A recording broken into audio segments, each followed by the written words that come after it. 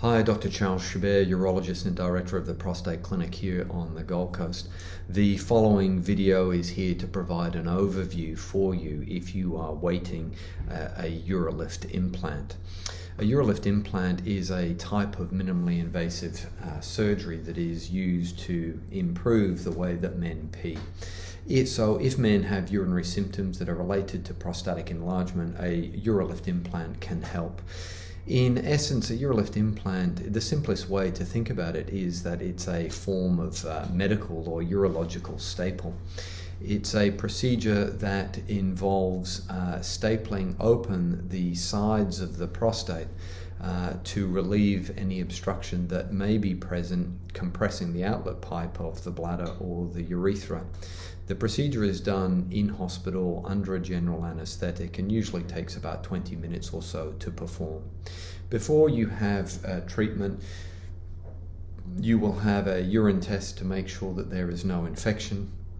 The majority of these men do not need to present to pre admission clinic, as this uh, for men can be day surgery only if the procedure is combined with a bladder neck incision, which is a procedure that we perform for men if the, the mainstay of their obstruction is related to the junction between the bladder and the prostate, then in that subgroup of individuals, a catheter is inserted at the end of the procedure, and those men will remain in hospital overnight. But if a man is purely having a Urolift implant alone, the majority of those people are discharged on the same day as treat, of treatment. So Urolift implant is appropriate for, in my opinion, for a certain subgroup of individuals. Not every prostate is amenable to a Urolift implant, and not every individual, if they did have a Urolift implant, would get a durable improvement in the way that they pee in my experience, I find that Urolift is an appropriate treatment option for men if they have simple bilobar obstruction, which means that the compression to the outlet pipe of the prostate is coming from the sides and that there is no growth of prostate tissue inside the bladder. That's called a median lobe.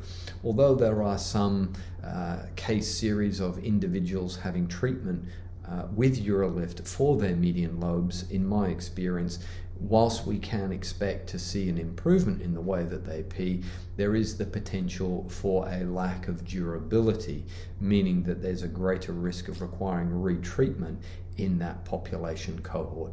So, in my practice, men, if they have simple bilobar BPH or obstruction from the prostate coming from either side, and their prostate size is around 50 cc's or less, these individuals can experience a big improvement in Urolift that is durable. The procedure is done in hospital at Pindara Private Hospital. It's done under a general anaesthetic, and the procedure is all performed endoscopically, which means that a telescopic camera or a very small camera is inserted through the penis, and the Urolift clips or staples are inserted internally to retract the lateral aspects or the sides of the prostate to unobstruct the bladder. On average, four clips are used, and the procedure usually takes between 15 to 20 minutes to perform. As I indicated previously, the majority of men are treated as uh, day cases, so men can go home on the same day as their treatment, and the majority of men, if they have a simple Urolift implant alone, do not require to be catheterized at that time. What you can expect after surgery is some stinging and burning when you pee. It's not uncommon for men to experience some discomfort in their perineum, which is the space behind their, their testicles and in front of their back passage. You are given, men are given uh, painkillers or analgesics uh, to take home, and for the majority of people, this discomfort usually settles down within around three to five days. Again, the first thing that men notice is that their flow is significantly improved, and with time, any frequency and urgency gradually declines.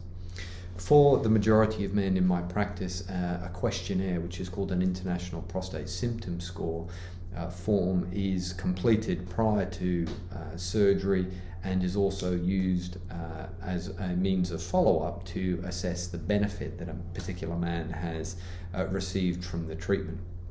On average, uh, I would expect a 50% improvement in that questionnaire when men complete it at about the three month mark uh, for review. Uh, with this treatment, one of the aims of this treatment obviously is that it's uh, minimally invasive. It's performed in the majority of cases as a day uh, case only. Uh, there is no catheter that is required. One of the benefits really is also the minimal impact it has on sexual function. So, men are very unlikely to have any disruption either to their erectile function and are very unlikely to experience any change in their ejaculatory function. One of the potential trade offs, however, is that no prostate tissue is actually removed, and there is a uh, a risk within four to five years, a significant risk of around 20% that those individuals may require retreatment uh, during that time frame. If you have any comments or questions, uh, please don't hesitate to leave them in the comments section below. Or if you are awaiting a Urolift uh, at this practice, please, if you do have any outstanding questions, contact the office before we proceed on. Hope this helps.